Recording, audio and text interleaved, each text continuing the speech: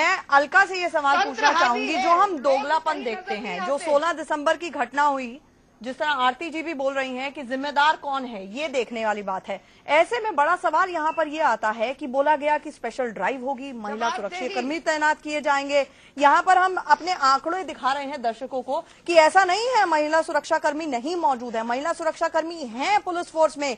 Delhi police force में मौजूद है। जितनी उनकी सैंक्शन स्ट्रेंथ है शायद उससे ज़्यादा ही मौजूद है। लेकिन फिर भी उनको क्लरिकल जॉब्स में लगा दिया जाता है। आप देखते हैं कि कोई बड़ी बिल्डिंग में सरकारी बिल्डिंग में अगर घुस रहे हैं तो एक आध सुरक्षा कर्मी आपकी चेकिंग के लिए आपका पर्स चेक करने के लिए रहेगी।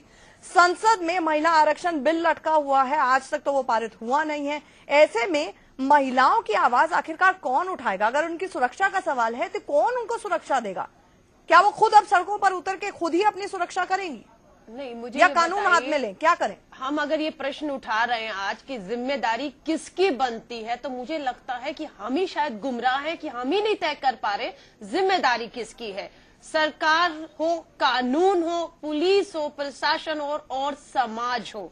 ये ज़िम्मेदारी हम सबको लेनी है, जो यहाँ पर एक नहीं दिख रहा, जो अपने आपस में ही एक दूसरे के सामने खड़े हुए हैं। ये सबसे बड़ी जो है, मुझे लगता है, चुनौती पेश कर रहा है। और इसीलिए मुझे लगता है, अपराधी भी बहुत खुश है, अगर वो चैनलों पे भी देख रहे होंगे कि हम अपराध और अपराधी की चिंता और बात कम करके हम एक दूसरे के ऊपर जितना कीचड़ उछाल सकते हैं, वो उछाल रहे हैं और हम बिखरे हुए हैं, हम एक नहीं है। ये मुझे सबसे, आपने महिला पुलिस की भर्ती की बात की। आपने कहा जितनी होनी चाहिए उससे ज़्यादा है, पर यह बात तय है कि उसकी नियुक्ति या उसके, उसकी जो प्रशिक्षण था जिस तरीके का, वो नहीं दिया गया। शायद उसका प्रशिक्षण इसी लेवल पर किया गया हो कि वो किसी की सिर्फ़ चेकिंग ही कर सके। उसका प्रशिक्षण इस तरह का नहीं था कि बाहर जाकर वो इस तरह के आंदोलनों से जूझ सके। तो मुझे लगता है, अगर इस तरह की महिला पुलिस की भर्ती अभी तक नहीं है तो उसे करना होगा। क्योंकि देखिए जब से ये वारदात बढ़ी है महिला आंदोलनकारी जो है वो भी बढ़ी है और उन महिला आंदोलनकारियों को हैंडल करने के लिए आपके पास महिला पुलिस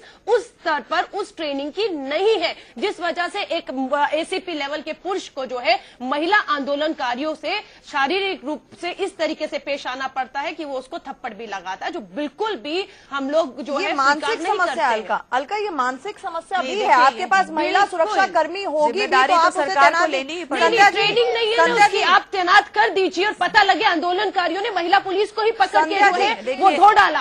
तो उसकी ट्रेनिंग इस तरीके से हो कि इस तरह के आंदोलनों से तो इसका मतलब सके, थप्पड़ मार सकता है। क्योंकि पुलिस नहीं मैंने ये नहीं कहा। आप मेरे मुँह में जबान मत डालिए। मैंने बिल्कुल नहीं कहा कि महिला पुलिस नहीं है तो पुरुष आएगा और पुरुष आएगा तो ऐसा व्यवहार करेगा। आरती जी कुछ कहना चाह रहे हैं? आरती जी ये कि मानसिकता का भी अपनी- फ़र्क अपनी है बात आरती जी ये मानसिकता का भी फ़र्क है। यहाँ पर पुलिस है, कर्मी महिलाएँ होंगी। इसके बावजूद उनका इस्तेमाल नहीं किया जाएगा। आधी आबादी को आप उनका हक नहीं देंगे। संसद में महिला आरक्षण बिल पास नहीं होगा। समाज की समाज की मानसिकता का समाज की मानसिकता का सवाल है यहाँ पे। पुलिस की मानसिकता का सवाल है। और सबसे बड़ी बात है कि सरकार